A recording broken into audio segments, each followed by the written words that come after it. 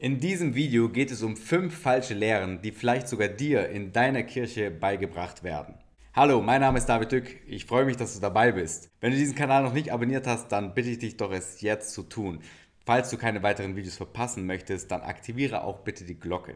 Die ersten zwei falschen Lehren, die wir beleuchten wollen, haben etwas mit Krankheit oder mit Heilung zu tun. In der dritten und vierten geht es um Geld und Finanzen. Die letzte falsche Lehre ist die, die wo ich glaube am meist verbreitendsten ist und die wirklich Schaden anrichtet. Aber dazu sage ich später nochmal was.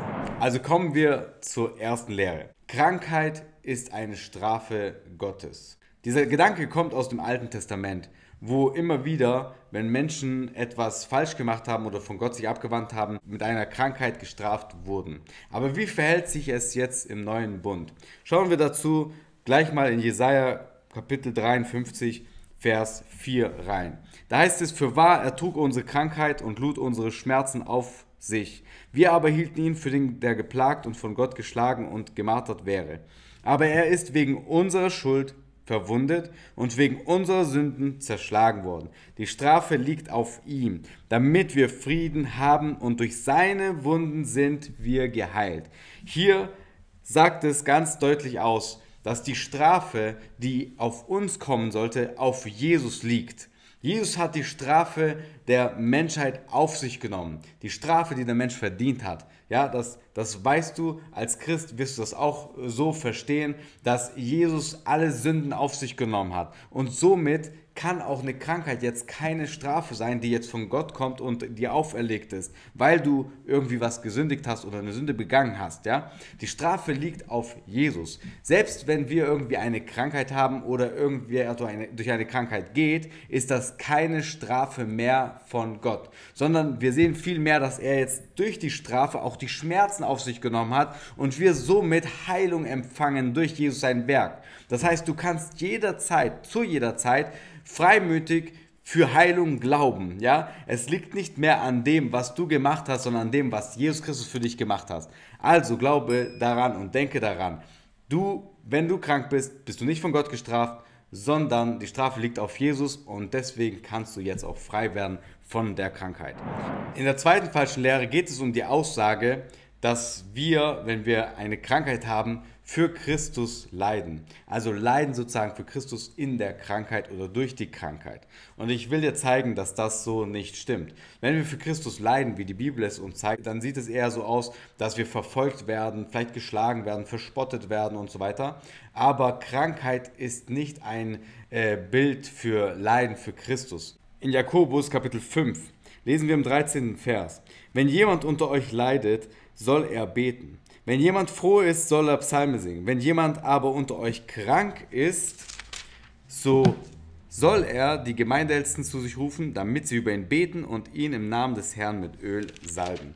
Interessant ist es, weil ich das mal gelesen habe und auf einmal der Heilige Geist mir das offenbarte und zeigte, schau mal, wenn jemand leidet, dann soll er beten. Und wenn wir von Leiden für Christus sprechen, dann geht es auch um dieses Leiden. Wir sollen beten, wenn wir für Christus leiden. Sind wir aber froh, sollen wir Psalmen singen.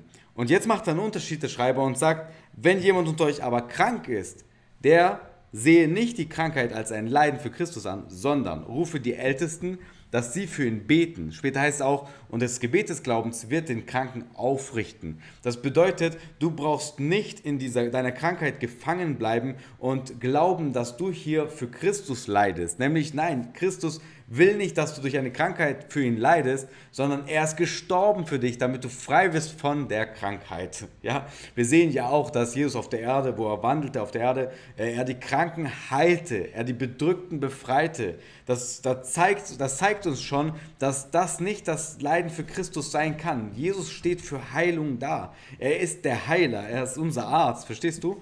So darfst du auch nicht diese Lehre glauben, dass Krankheit etwas ist, durch das wir für Christus leiden. Lehre Nummer drei: Ein Reicher kommt nicht in den Himmel. Bestimmt hast du schon mal diese Aussage gehört, ja, der Reiche kommt nicht in den Himmel. Ähm, für den Reichen ist kein Platz im Himmel und, und all solche Aussagen. Schauen wir uns erstmal an, woher dieser Spruch gekommen ist. In Markus Kapitel 10, Vers 17 lesen wir diese Geschichte, wo dieser reiche Jüngling zu Jesus kommt und Jesus dann zu ihm sagt, Nimm alles, was du hast, verkauf es und gib es den Armen. Wir lesen ab dem 23. Vers. Und Jesus sah um sich und sagte zu seinen Jüngern, wie schwer werden die Reichen ins Reich Gottes kommen. Die Jünger aber erschraken über seine Worte, aber Jesus antwortet ihnen wieder, Kinder, wie schwer ist es für die, welche Vertrauen auf Reichtum setzen, ins Reich Gottes zu kommen. Man hat ganz oft diese Stelle genommen und damit unterstrichen, dass der Reiche nicht ins Himmelreich kommen kann. Aber du musst eins verstehen. Erstens steht hier nicht, dass er nicht in den Himmelreich kommen kann, sondern steht, dass er schwer in den Himmelreich oder in den Himmel kommt. Das ist schon mal ein großer Unterschied. Und außerdem legt Jesus die Betonung auf Vertrauen.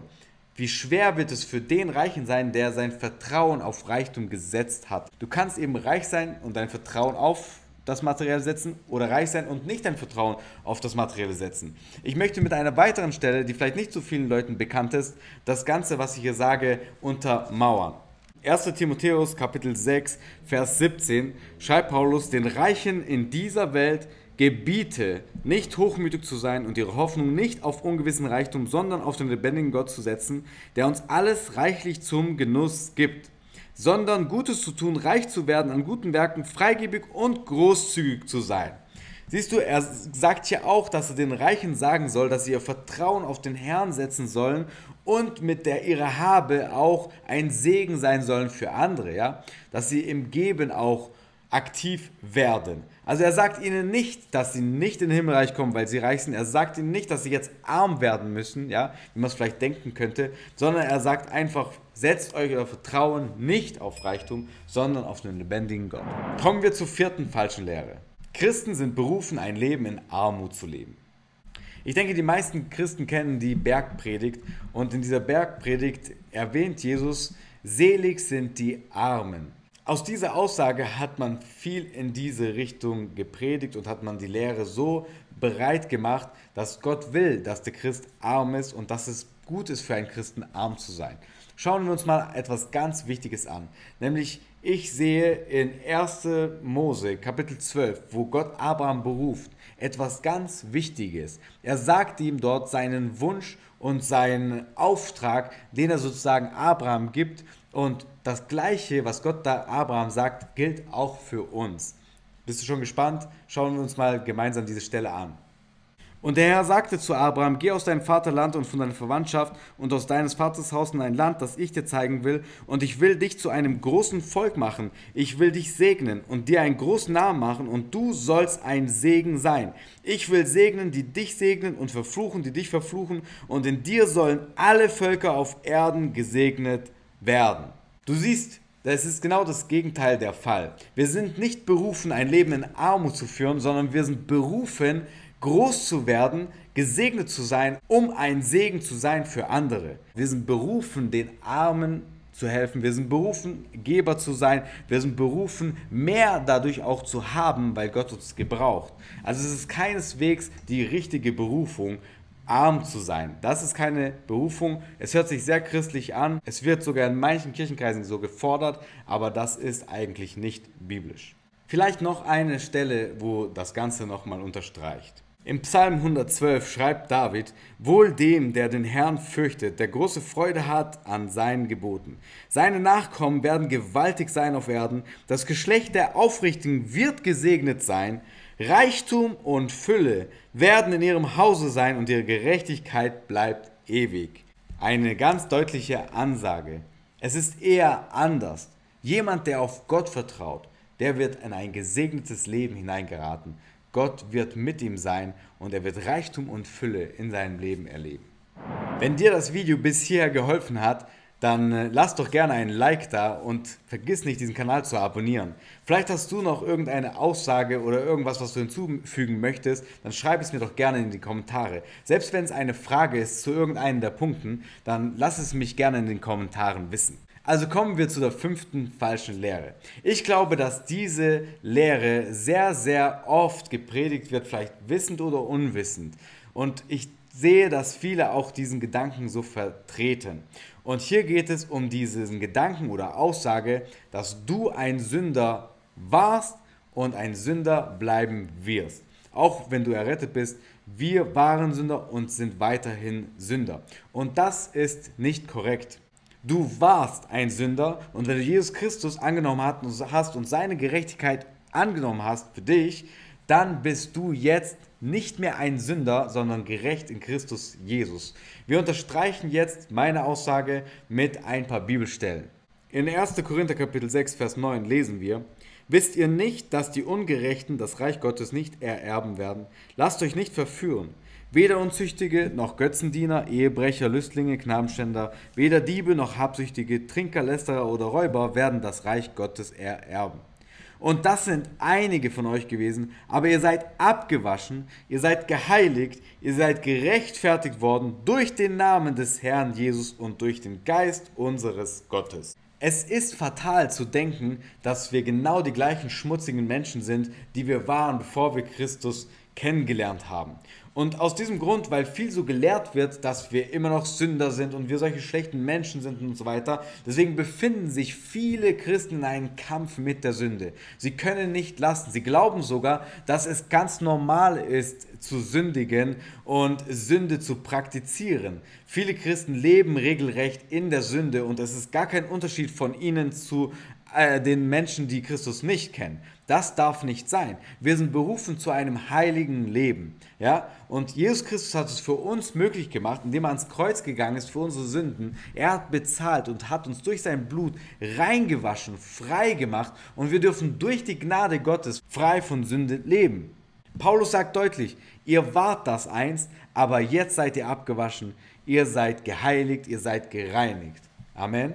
Im ersten Johannesbrief dritte Kapitel, Vers 4 schreibt er, wer Sünde tut, der tut auch Unrecht. Und die Sünde ist das Unrecht. Und ihr wisst, dass er erschienen ist, um unsere Sünden wegzunehmen, und es ist keine Sünde in ihm. Wer in ihm bleibt, der sündigt nicht.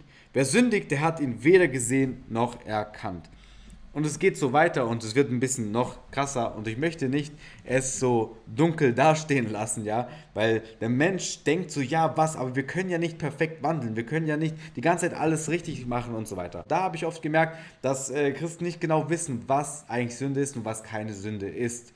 Es ist nicht Sünde, wenn du mal irgendwie etwas nicht korrekt gesagt hast, wenn du etwas mal zu laut warst oder irgendwie vielleicht über etwas gelacht hast. Das ist nicht die Sünde und deswegen sind viele Christen da viel zu fein gesponnen. Fehler machen ist menschlich. Wir machen Fehler, wir tun Fehler, ähm, äh, machen nicht immer alles richtig und so weiter. Aber die Sünde ist ein ganz anderes Thema. Und deswegen will ich nochmal zum Abschluss, wir haben vorher schon von Paulus gehört, welche Sünden er aufgezählt hat, aber ich will nochmal in einen Text reingehen und dir nochmal eine Liste geben, wo er wirklich Sünden aufzählt und er sagt auch, wenn du diese Dinge begehst oder in diesen irgendwo drin bist, bist, dann wirst du das Reich Gottes nicht sehen.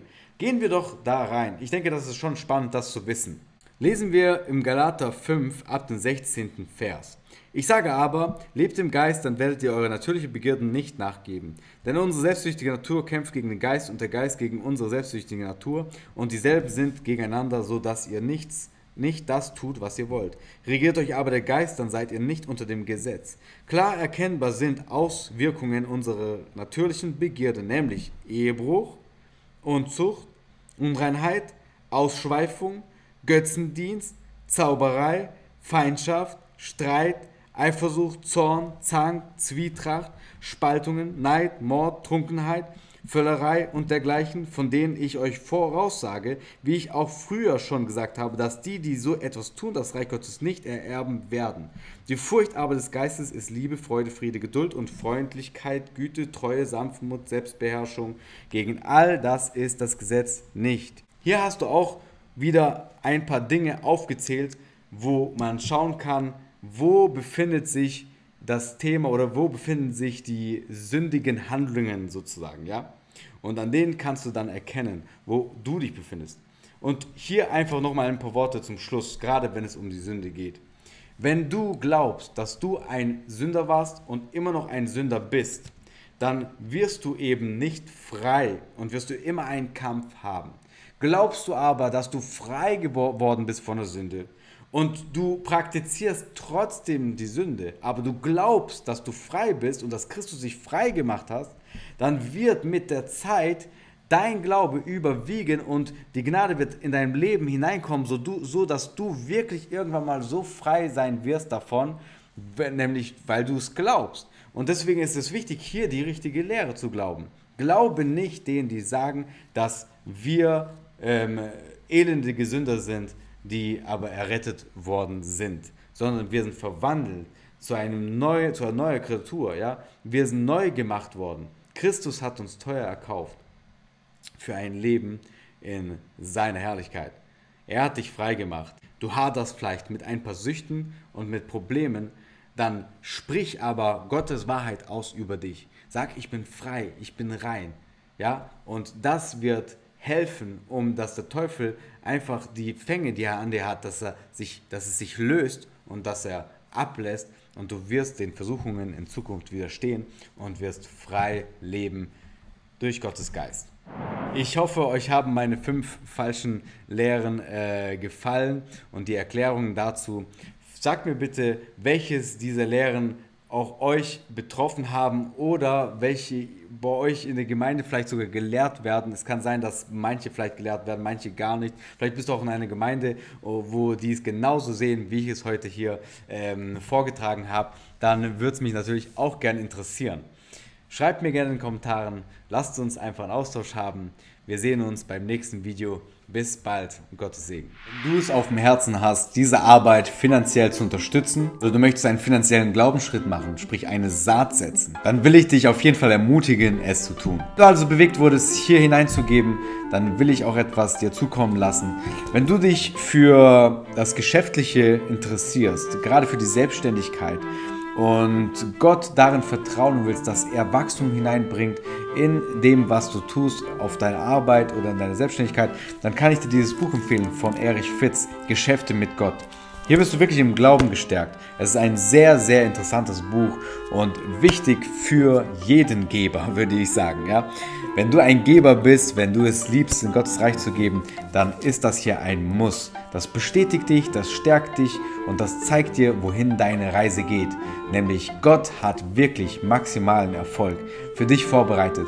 Für denjenigen, der wirklich treu ist und der diese Sache im Glauben und in der Liebe zu Gottes Reich tut. Ich habe hier noch ein anderes Buch, das äh, würde ich dir auch zusenden. Eins der zwei Bücher, du kannst dich zwischen den zwei Büchern entscheiden. Das ist auch ein sehr empfehlenwertes Buch. Oftmals sagt mir David, äh, wie finde ich denn meine Berufung? Ja, da kann dieses Buch wirklich gut helfen. Das ist ein Buch von Mike Murdoch. Finde oder erkenne deine Berufung. Ja, er betont es hier in diesem Buch immer wieder, dass wir die Berufung von Gott haben, aber wir sie erkennen müssen. Und da führt er dich Stück für Stück durch dieses Buch hin. Ich glaube, es ist kein Fehler, das mal zu lesen, damit du einfach dir sicher bist und du Gottes Berufung ausführen kannst hier in diesem Leben. Für jeden Geber möchte ich eins der Bücher zusenden, deswegen teilt mir eure Adresse mit, nachdem ihr die Liebesgabe getätigt habt. In der Videobeschreibung findet ihr einen Link. Dieser Link führt euch zur Webseite, wo ihr dann die Liebesgabe tätigen könnt. Wem die ganze Sache mit der Webseite und so weiter online kompliziert ist, habe ich auch hier nochmal den altmodischen Weg, ja, die Überweisung einfach per Kontonummer, könnt ihr einfach die abschreiben und die Sache so ausführen.